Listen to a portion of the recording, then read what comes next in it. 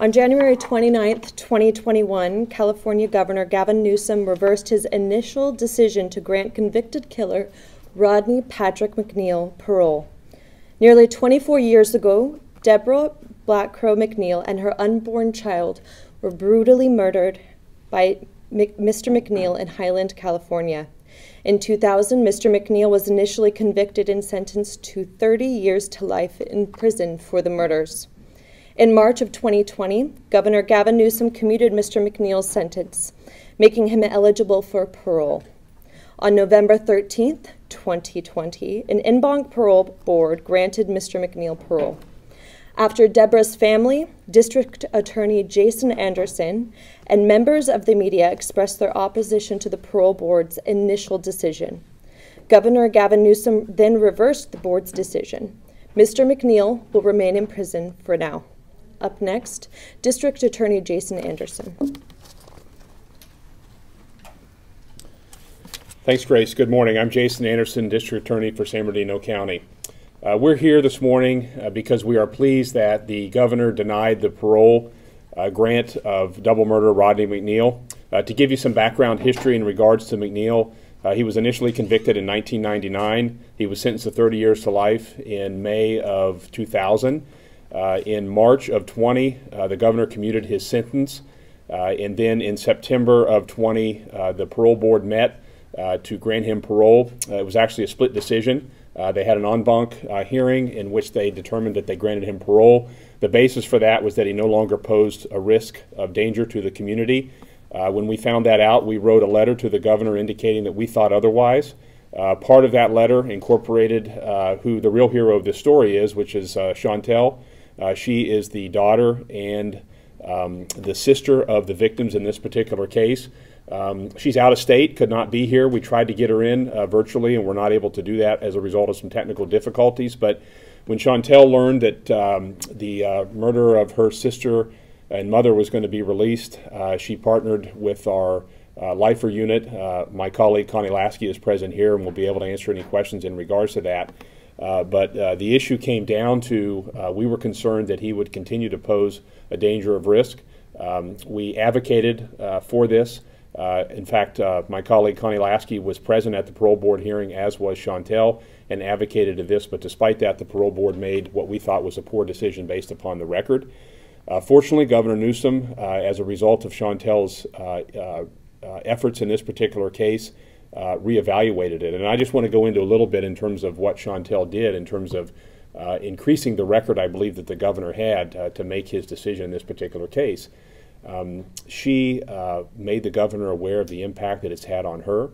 Uh, she uh, pointed out that her mom uh, is Native American, uh, Deborah Black Crow McNeal, uh, and baby girl McNeal, and she went to the tribe in South Dakota. Um, she got advocates there, senators in South Dakota, tribal leaders in South Dakota, to encompass the record in this particular case, and we believe that that was a significant part of making the difference. Uh, I can tell you that the governor's reason uh, for overturning the parole board was the fact that uh, McNeal had a history of domestic violence, not only with uh, Deborah, but in other relationships. Uh, despite the fact that for some reason the prison never determined that he had actually uh, a misconduct record, there were admissions made at the parole hearing where Ms. Lasky was present that he'd actually engaged in um, illegal cell phone and narcotic trading. Uh, and we believe that was uh, appropriate.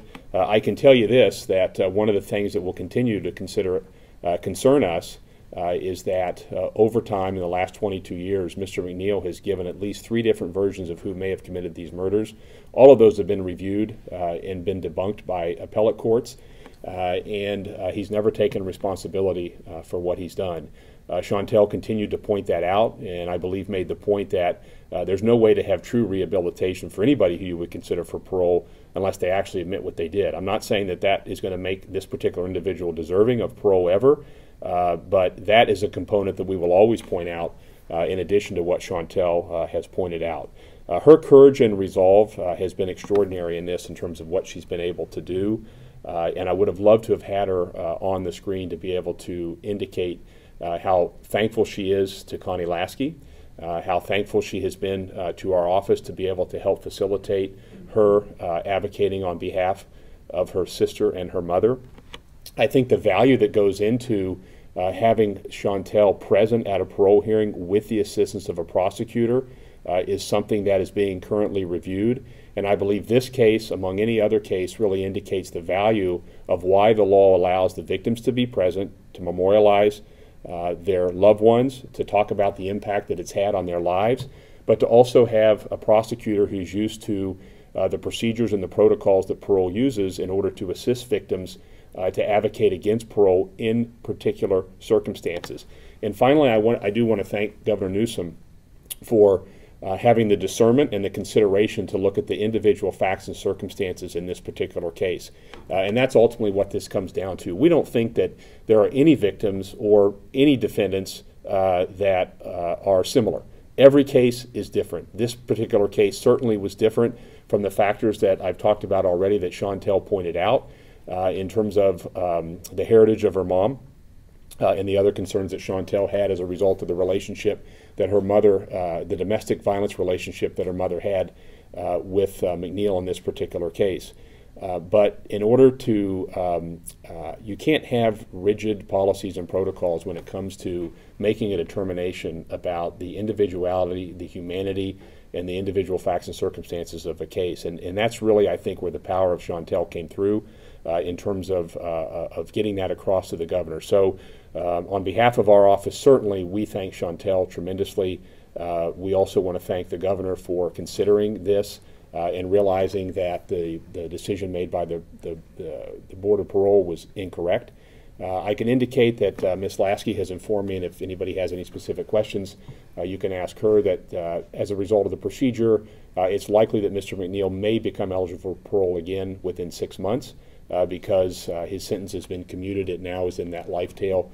Uh, we will continue to oppose it again, uh, not only on behalf of Chantel, she certainly will, but as I've said, there's been no indication at all for taking responsibility uh, for this particular action. And so um, we again want to thank Chantel, her entire family, her relatives, who have made this day happen, and we're thrilled that we have some good news to report uh, that a double murderer will remain in prison. So uh, if anybody has any questions, I'll be happy to ask. Uh, Ms. Lasky, do you have anything that you would like to add in terms of procedurally?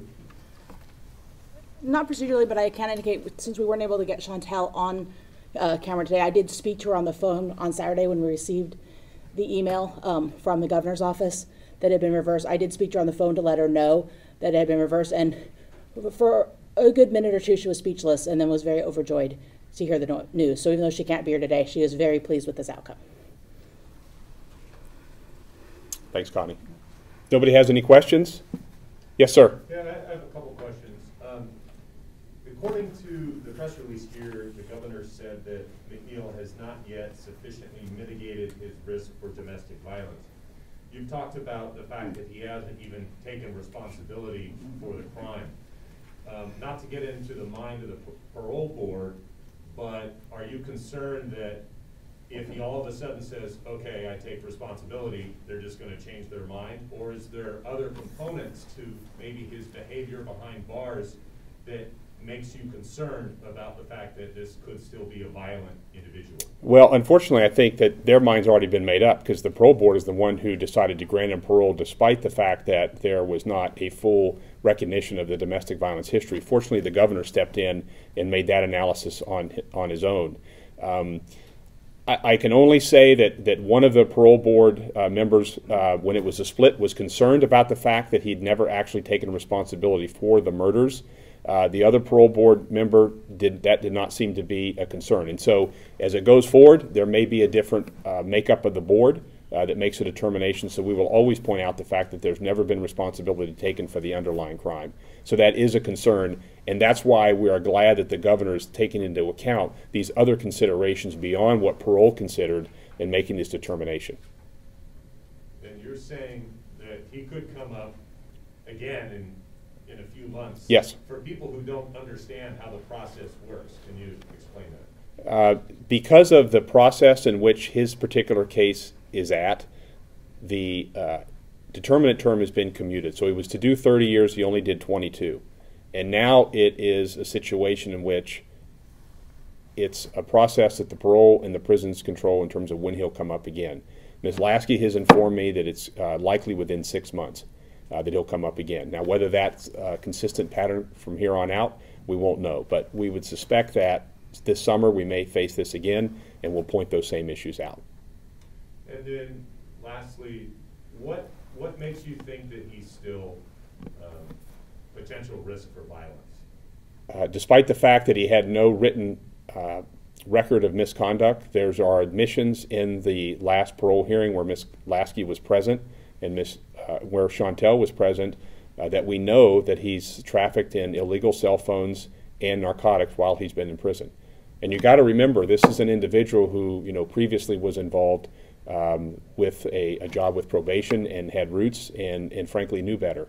Uh, even before he went into prison, and so you know, it's those types of issues that we will consider, we will continue to point out. You know, those are those are intricacies and nuances that aren't going to be pointed out unless someone like Ms. Lasky is present, uh, and we keep them at the forefront in terms of what what's the conduct. I'm not necessarily interested in what uh, the parole board is actually marking down in terms of some report. I don't know what their threshold is. Uh, my threshold is is that if you continue to engage in illegal conduct, it doesn't appear as if you're ready to be out in society. You're going to create a danger. My name is Chantel Danae Haynes. I am the daughter of Deborah Marie Blackcrow and the collateral victim of Rodney Patrick McNeal. I was absolutely shocked when I got the news that Governor Gavin Newsom decided to reverse the parole grant for Rodney.